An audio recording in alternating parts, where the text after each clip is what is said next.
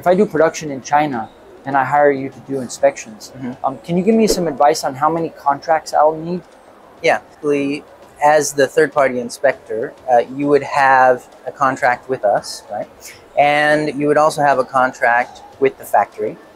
In the factory contract, you can include you know, clauses related to the inspections and working with a third party inspector.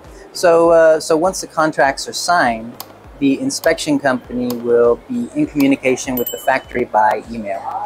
So a lot of details like the inspection date will be communicated all by email, but not contractually. Yes, exactly right.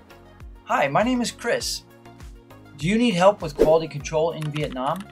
Or perhaps you just want to talk to a person that can be trusted and unbiased? I've got 14 years of experience visiting dozens of Vietnamese factories and would be happy to help. Contact me via my website, vietnamfactorytours.com. Thanks for listening. Have a wonderful day. And remember, thoughts are things, and where there's a will, there's a way. Welcome to Vietnam.